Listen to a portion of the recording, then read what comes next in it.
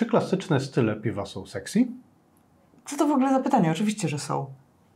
Zobaczymy.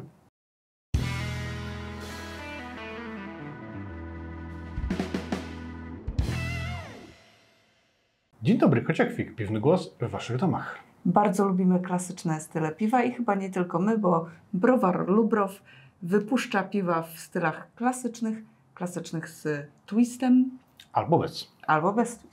Tak, browar Lubrow to jest taki browar, który w bardzo ciekawy sposób łączy klasykę i nowoczesność, bardzo często robiąc to mocno po swojemu, z jakimś twistem. Czasami mają bardzo odjechane pomysły. No ale wiadomo, że ludzie lubią też klasykę, więc ważą na przykład klasycznego Wiena Lagera, który się nazywa słodowy. I, no i etykieta wygląda takiego właśnie klasycznego piwa, takiego jak dawniej. Zresztą te etykiety też nawiązują mocno do klasyki. Czy to jest dobre w- sumie pytanie, czy ludzie tak strasznie pragną wina Lagera, ale, ale chciałabym tylko jedną Mhm. rzecz malutko wtrącić, że owszem, Lubrow robi rzeczy odjechane, ale robi je w sposób inny niż wiele browarów. Tak. E, robi je z rikczem, czy można tak to powiedzieć? No tak, no jak robili pastry stouty, to bez y, Bez aromatów, aromatów. tylko dodawali faktycznie tych rzeczy, które pisali, że tam są. Tak, Także fajnie, szanujemy to. szanujemy. Czy ludzie chcą to pić? No to piwo jest, nawet jest Core Series. To jest piwo, które oni robią non-stop, które jest cały czas dostępne w ich ofercie. Jest jeszcze y, drugi lager dostępny cały czas, Chmielewski. To jest pils, który ma faktycznie solidną goryczkę, więc najwyraźniej ludzie chcą to kupować i chcą to pić, skoro browar robi to cały czas. No dobrze. Nie, niech ci będzie, że ludzie pragną wiena Lagera. Nie, No, gdyby nie chcieli go pić, to nie byłoby sensu, żeby go ważyć. nie, no jasne, jasne, rozumiem. Po prostu dla mnie wiena Lager to jest taki trochę styl, który, którego nie rozumiem. Czekaj, czekaj, przez chwilę było, uuu, jak ja bardzo lubię Nie, bo ja bardzo klasykę. lubię klasykę, bardzo lubię No klasykę. to zaraz go zrozumiesz. Albo nie. Byliśmy w Wiedniu, piłam tam wiele wiena Lagerów. Tak? Tak. Ciekawe, bo jak ja ostatnio byłem w Wiedniu, to bardzo ciężko Wiena Lagera było. Ty byłeś ze mną ostatnio w Wiedniu, czy byłeś beze mnie jeszcze w Wiedniu? No bez ciebie. A, no byłeś nie- beze mnie w Wiedniu, no Niedawno właśnie. byłem w Wiedniu No właśnie. i nawet akurat wtedy e, był jakiś wiedeński festiwal piwa, gdzie były same, prawie same lokalne browary. I Wiena Lagerów było na kranie, na kranach ze dwa może? Na trzydzieści kilka stoisk? Helesa? Wszyscy. Weizsäna? Wszyscy. Wiena Lager w Wiedniu? Ciężko. W knajpach? Też raczej nie. Dobra, więc Wiena Lager jest bursztynowy? Tak, bursztynowy, Bursztyn. klarowny. No, w ogóle chyba warto powiedzieć, że to ma nieznane parametry. A, jest tutaj 12,5 plato, 5,2 alkoholu. Pachnie naprawdę bardzo fajnie. Pachnie słodowo, jest taka nuta skórki chleba. Bo, bardzo podobny profil do koźlaka, tylko oczywiście nie jest tak intensywny. Czyli takie słody monachijski, wiedeński. Takie ma. No właśnie, słód wiedeński, Wiena Lager, no Tak, i dość oczywiste. aromat mocno słodowy i piwo się nazywa słodowe. Wszystko pasuje. Wszystko pasuje. Spisek. Fajne, bo jest, jest dosyć wytrawny. Jest ta skórka chleba. Jest też duża pełnia w tym piwie. Tak, spora pełnia. A, jest słód żytni w składzie. Nie? Dlatego właśnie- takie dobre. I właśnie, i właśnie to jest taki klasyka klasyką, ale to, co robi Lubrow, to nawet do Wiena Lagera dodaje słodu żytniego. Tak, słyszę oburzenie. To nie było oburzenie, to był meskal, który sobie harknął. Hmm, oburzenie, że jak Wiena Lager ze słodem żytnim, to się nie godzi. Ale to pasuje. Pasuje. Bardzo dobrze. I to jest właśnie takie podejście do klasyki my lubimy. Bo klasyka to nie tak, że, nie mo- że musi być dokładnie tak i nie można nic, y, nic zmienić, ale jeżeli wiemy, że w takim piwie taki dodatek mówię tutaj o dodatkach typu właśnie inny słód, będzie lepszy, będzie ciekawszy, da coś nowego temu stylowi, to czemu tego nie robić? I to jest, dzięki temu klasyka może żyć, może się rozwijać, może trafiać do innych konsumentów, może można odkryć ją troszeczkę na nowo. Wiemy, że są ludzie, którzy uważają, że przykład pils no to 100% pilzneńskiego, chmiel żatecki, ale można to trochę tu, trochę tam i powstają nowe style, tak jak Italian Pils powstał, więc można poeksperymentować, można się czasem pobawić. Ważne, żeby piwo było stylowe, żeby był zachowany charakter e, stylu, charakter tego piwa, tak jak powinny być, ale jeżeli można właśnie podkręcić go trochę słodem żytnim, to czemu nie? Ja jestem za. No i też y, jest goryczka, dosyć, dosyć wyraźna, co w winnalagerach różnie z tym bywa, bo one czasami są takie już bardzo, bardzo słodowe, że aż przydałaby się większa kontra. A tutaj ta kontra jest. Jak na tak proste piwo, to całkiem sporo się dzieje i jest, dzieje się fajnie. Jest naprawdę spoko. Ale Ale słód żytni w Wienelagerze to jest tam pikuś. Bo zrobili coś takiego jak gruby bamber. Ładna etykieta i taka trochę... tak wiem, jest taka wypukła No. troszeczkę. I to się nazywa Rajtik Weizen. 16 plato, 5% alkoholu. I słuchajcie, w składzie. Jak, jakim, jaki powinien być skład Weizena takiego klasycznego? Pszenica. Woda, słód pszeniczny, słód jęczmienny, chmiel, drożdże. Koniec. Woda. Zgadza się. Słód żytni, O nie, słód pszeniczny. okej, Płatki pszenne. Płatki owsiane. Słód jęczmienny, słód owsiany. Maltodekstryna. Czyli to jest takie wielozbożowe plus maltodekstryna. Chmiel drożdże. Nie jest zgodne z Reinheitsgebot. Nie, oczywiście, że nie. Absolutnie. Więc co to w ogóle jest? Jak to można Ale czy nazywać? pszenica była kiedykolwiek zgodna z Reinheitsgebot? Przecież tam musiał być słód jęczmienny. Tak. To jest, y, tak, są pewne uroki Reinheitsgebot, bo Reinheitsgebot na samym początku był tylko słód jęczmienny, bo pszenica miała być głównie przeznaczona na chleb. Chociaż oczywiście przywilej ważenia piw z pszenicy był, zacho- był zachowany dla odpowiednich, odpowiednio godnych. Ale o Reinheitsgebot to trzeba go nakręcić osobny odcinek. Tak jak o wielu innych rzeczach, o których planujemy nakręcić odcinki i nam ciągle nie wychodzi. No czasami się udaje. Czasami się uda. No, panie Bamber. No już widać, że to nie jest klasyczna pszenica. Jest troszeczkę ciemniejsza niż Znaczy, Odrobinkę. nie, Myślę, że jest spokojnie w ramach. bardziej głęboki żółty. To co, no znam kolory. No dobra, ja, ja nie znam kolorów. Znam dwa. To, to jest żółty. To jest żółty. Uuu, cześć żółty kolorze. Ja mam na sobie też żółty, ale zobacz, to są dwa różne żółte. Tak, to są równe żółte. No. E, piana nie jest taka pszeniczna, Zdecydowanie nie. ale aromat jest mm, mocno bananowo-goździkowy. No, Takie dojrzałe banany. Mhm. Bardziej banany niż goździki. Tak, bardziej banany.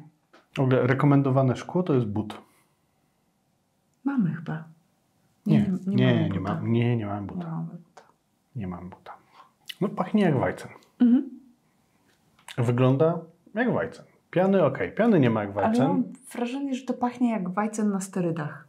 W sensie tego No bo to jest baj- wajcen na sterydach. Niż normalnie. Dobra. A smakuje? Myślę, że to jest takie piwo, że gdybym nie miała pojęcia o piwie i bym tego spróbowała, to bym sobie pomyślała, że tutaj jest dodany przecier z bananów. To jest tak intensywnie bananowe. Jest nawet takie słodko-bananowe. Mhm. Tak, jest, jest trochę słodkie, ale jest taka delikatna kwasowość kontrująca, więc, więc ono mimo, że jest dosyć gęste i dosyć słodkie, to nie jest zalepiające, nie jest takie... Jest dobrze zbalansowane. Mhm. Goreczki oczywiście tutaj wyczuwalnej jako takiej za bardzo nie ma. No troszeczkę. Delikatna goryczka. Taka, taka akurat kontrująca. Ale jest, jest fajnie gęste, jest no nie powiem juicy. Jest w pewnym sensie juicy. No ale faktycznie ten przecier z bananów to jest takie e, fajne skojarzenie. Przecier z bananów taka, jest takie zbożowe też trochę. No, oczy- oczywiście, że jest zbożowe w, tym, w tym składzie. Czy tak, ja doceniam, natomiast jak ja chcę pić pi- Weizen'a, to ja lubię Weizen'y lżejsze, bardziej rześkie. To jest ciekawe piwo, to jest taki, to tak wchodzi już trochę w Weizenbocka. Jeśli chodzi o profil, o pijalność, no bo ta pijalność tutaj nie jest aż tak e, Mhm. wysoka jak w klasycznym Weizenie, jak Schneider Weisse czy Weichstefan. To jest taki Weizen, którego można pić haustami, jeden za drugim, jeden za drugim. Natomiast tutaj to jest taki, to jest właśnie znowu zabawa stylem. Zabawa stylem, która wyszła ciekawie, która wyszła intrygująco. No, puszkę bym wypił, natomiast więcej myślę, że jest jednak trochę zbyt gęsty, ale fajne. Smaczne piwo, ciekawe, pokazujące właśnie, co można jeszcze wyciągnąć ze stylu, że ta gęstość plus y, profil fermentacji idący mocno w banany powoduje, że to piwo no, zyskuje nowego charakteru. I jest naprawdę, naprawdę smaczne. Mnie się to na przykład bardzo podoba, ale ja też bardzo lubię Weizenbocki, więc, No tak, więc, więc dla Ciebie to piwo więc będzie... mi to pasuje. to tak. bardziej będzie Bo pasowało. to jest trochę bardziej degustacyjne. No nie Mhm. jest takie zdecydowanie degustacyjne, że tylko malutkie ilości i po prostu siedzieć nad tym przez dwie godziny. E, Jest gdzieś pośro- pośrodku drogi między pijalnym a degustacyjnym, ale oferuje dużo więcej niż taki zwykły, Tak. zwykły Weizen. No też odfermentowanie jest niewielkie, bo mamy 16 plato i 5% alkoholu. Mhm. Więc cukrów resztkowych trochę tutaj jest i one też budują tą pełnię, tą gęstość, to, to wrażenie przecieru bananowego. No i na deser znowu klasyka, ognisty majster i to jest Rauchmarzen. Styl można powiedzieć niesprzedawalny. I jest słód jęczmienny wędzony, słody jęczmienne, słód żytni, Mm. chmiel odmiany Izabela, drożdże. Czyli Rauchmarzen to jest niebezpieczne, no bo no tutaj porywają się na świętość absolutną. No wiem. Jedno, jedno z naszych ulubionych, ukochanych, wspaniałych e, piw, takie, które możemy pić zawsze i zawsze jest wspaniałe i zawsze jest genialne i najlepsze, no to jest właśnie Rauchmarzen. Tak. Schlenkerla. To jakby zrobić top 3 piw naszych, takich totalnie, nie takie, które pi, m, można wypić raz w życiu, bo nie jest w ogóle dostępne, tylko takie, które można powtarzać, No Myślę, że Schlenkerla by się tam musiała znaleźć. na pewno. Bo to jest tak wyjątkowe piwo pod tyloma względami i jednocześnie takie, które można dostać przez cały rok praktycznie. Tak, a, a, w, a rza, rzadko, znaczy rzadziej, ale można też dostać wersję niefiltrowaną, która jest jeszcze lepsza. Schenkerla, Znaczy, z mojej strony na pewno byłby Aventinus Icebox.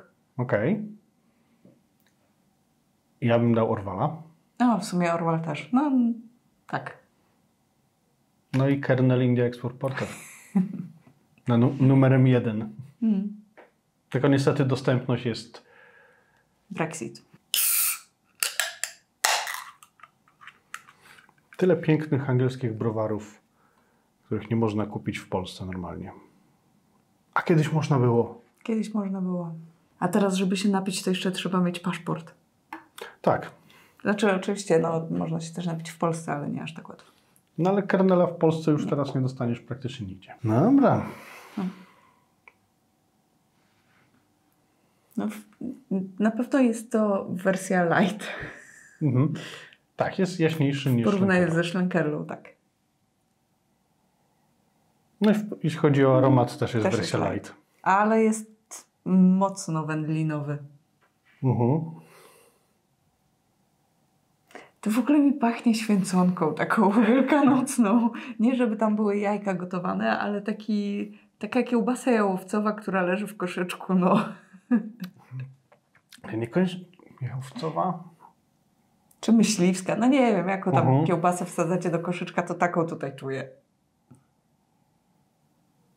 Oczywiście, jeżeli ktoś wsadza do koszyczka y, kiełbasę sojową, to Jeżeli Jak ma aromat dymu wędzarniczego.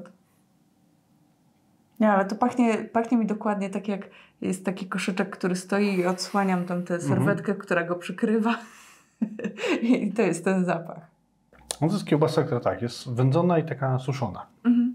Mm, Podoba mi się, bo to tak uruchamia, wiesz, wspomnienia z dzieciństwa. Że dziwnie brzmi, jak się wącha piwo i ma się wspomnienia z dzieciństwa, ale właśnie wspomnienia koszyczka. Dobra, no profil wędzonki jest, jest jak najbardziej Mhm. dobry, godny, tak jak powinno być, więc jest, jest to dobrze. Jest bardzo light. Mhm. Znaczy, nie powiem, smakuje mi to, no ale ja lubię wędzonki.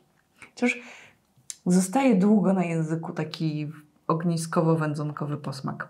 Jest to smaczna wędzonka, to na pewno. E, No do szlenkerli odrobinkę brakuje. Nie no, szlenkerla jest dużo Jest, wzor, jest wzorcem metra. Okej, ale jest też tak dość ekstremalna. Jest. A to nie jest ekstremalne. To jest lekko wędzony marcen. Mhm. Dla niektórych będzie zbyt wędzony. Jest wyraźnie wędzony. Jest wyraźnie wędzony, ale nie masakrycznie wędzony. No bo też trzeba podkreślić jedną rzecz, że my jesteśmy wielkimi fanami wędzonek. Więc to, co dla nas jest lekko wędzone, dla wielu osób będzie absolutnie nie do przyjęcia, bo będzie zbyt wędzone. Ale znamy też osoby, które... Marcin Kwil. No on jest taki... Przy nim to my wędzonek nie lubimy. No jeżeli dla nas coś jest mocno wędzone, to Marcin mówi, "Nie, w ogóle wędzonki nie czuję. No to jest przyjemne piwo. Bardzo przyjemne. Nie wiem, czy nie brzmi, jakbym nie wykazywał za bardzo entuzjazmu. A tak no, przyjemne zawsze piwo tak może być. brzmimy. Tak słyszałam, że zawsze za mało się ekscytujemy tymi piwami, które pijemy. Powinniśmy robić takie wow, jakie fajne, wow, najlepsze na świecie.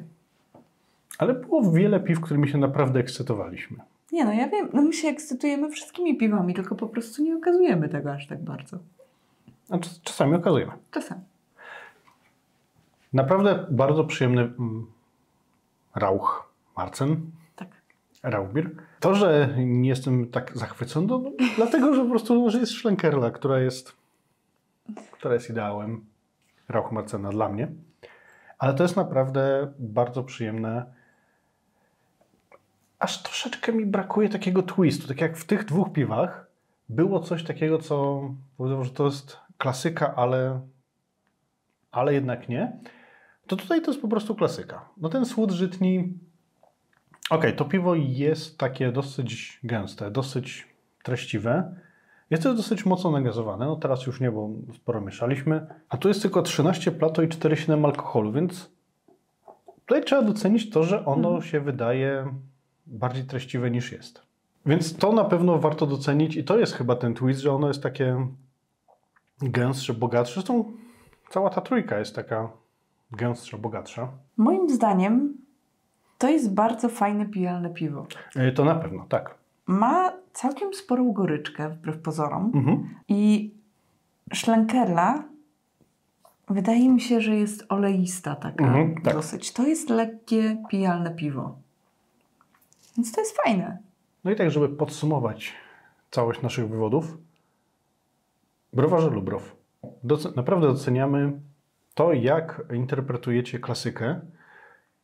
To, jak no, wyciąga, wyciągają coś, coś innego, coś nowego. I to, to mi naprawdę się podoba. Że to nie jest... Nie traktuję tego jako świętość, której nie wolno ruszyć, tylko a zróbmy to tak, zróbmy to tak, to będzie ciekawsze, to będzie fajniejsze i faktycznie jest ciekawsze, jest fajniejsze, daje coś, jakieś dodatkowe doznania i bardzo mi pasuje takie podejście do klasyki, bo jeżeli ktoś bardzo lubi te klasyczne style, to te piwa mu zasmakują. Może kręcić nosem, że to nie jest dokładnie tak, jak powinno być według Reinheitsgebotów itp., no ale właśnie o to chodzi, żeby... O to chodzi w krafcie. Więc nawet jak się robi klasykę, to dać coś od siebie, zrobić coś troszeczkę inaczej, odkryć coś nowego. No bo klasykę klasycznego dry stouta no, ktoś chce, to wiadomo gdzie pójdzie. Po co? Pójdzie po Guinnessa, ale chce coś innego, to kupi coś kraftowego.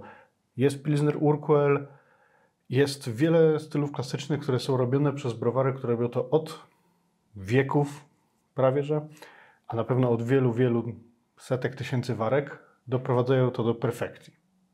Ale jeżeli ktoś chce coś, coś inaczej, świat piwa rzemieślniczego właśnie, właśnie o to w tym chodzi. I właśnie tak jak to robi Lubrow, jest naprawdę fajnie. Czy jest sexy? Jak najbardziej. Też siłą tych piw jest to, że one są bardzo przystępne. I one są takie, że jeżeli ktoś niespecjalnie się zna na piwie, no to ten bamber powinien zasmakować, bo to są piwo przystępne, to są piwa pijalne, to są piwa, które nie wymagają dyplomu sommeliera, żeby je docenić. To nie są piwa totalnie ekstremalne.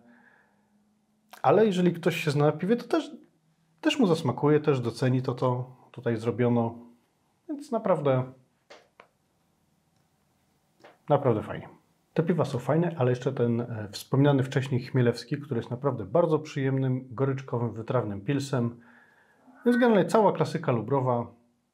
Warto po nią sięgnąć, jeżeli nie jesteście totalnymi ortodoksami. Bo jak jesteście, to trzymajcie się od tych piw z dala. Maltodekstryna w Wajcenie. Jak Wam to nie przeszkadza, śmiało kupować, pić i się nimi cieszyć. No ale oczywiście nie możemy nie zapytać, jakie jest Wasze podejście do interpretacji klasyki? Czy są rzeczy, których absolutnie nie wolno ruszać? Czy jednak można sobie pozwolić na nieco kraftowego szaleństwa? Dajcie znać w komentarzach. A my widzimy się. Za czas jakiś.